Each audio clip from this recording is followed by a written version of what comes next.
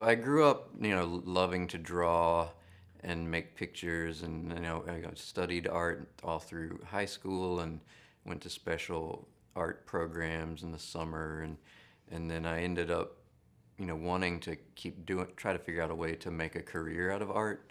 So I went to college for, you know, I was trying to be sensible about it. So I went to college for graphic design and so I studied graphic design, and then I still continued to to take classes in drawing and painting and printmaking, so fine art classes.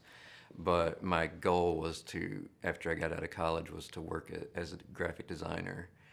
And once I got out of school and I, I was working as a designer for a few years, I didn't like being a designer. I, I liked the creative aspect of it, but I didn't really love the very business, very hard working sort of working for like a big company. I didn't love that part of it.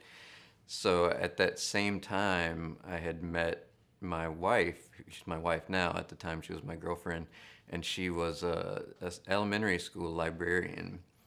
And she said, and she writes too. She's an author, and she said, you know, I can. Uh, why don't you try to do a children's book? You know, she said she said I could write it, and then and then she gave it. She would hand me the story, and we'd I'd try to do some pictures and get it published, and uh, and I thought that was a terrible idea. I didn't really want to do it, but she started bringing me home children's books, and I had forgotten about the world of children's books. So the ones she brought me home just really changed my mind. She would bring me home, you know, classic children's books, but also current you know contemporary um, picture books that had really inspiring, really uh, just amazing illustrations. And so I, I uh, at that point, I, I really it changed my mind about not wanting to do it. I really wanted to try it, and we submitted.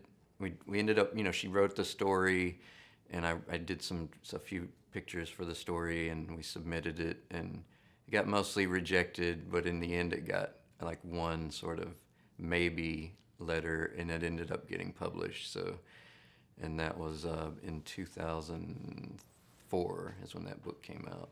Toby and the Snowflakes, it was called.